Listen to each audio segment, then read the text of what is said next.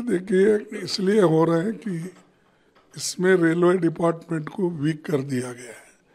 और इतने वैकेंसीज है, रेलवे डिपार्टमेंट में लाखों वैकेंसीज है।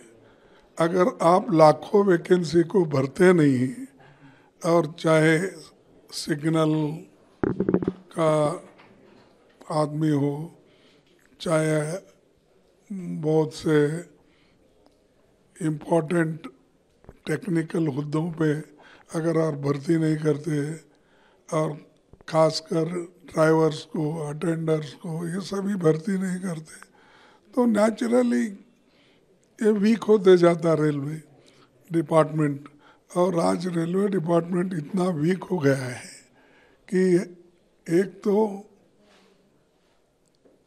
एक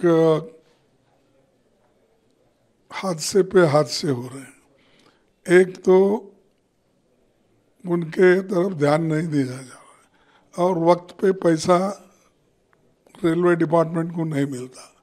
जब रेलवे इंडिपेंडेंट था, जो मर्ज नहीं हुआ था फाइनेंस में, तब वो अपने आप पे बलबूते पे करते थे और जब कभी थोड़ा कम गिरता था, तब वो सरकार से पूछते थे लेकिन अब पूरा पावर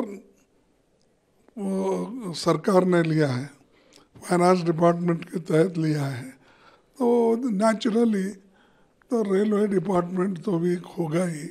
और दूसरी तरफ़ लोगों को अपॉइंटमेंट्स नहीं मिल रहे और वो अपॉइंटमेंट्स करना नहीं चाहते। तो इससे बहुत बड़ा नुकसान देश का भी हो रहा है। और रेलवे डिपार्टमेंट का हो रहा है और हादसे भी बिगड़ रहे हैं। और अब तक तो सैकड़ों लोग मरे हैं। तो ये चीज़ें सरकार को सोचना चाहिए।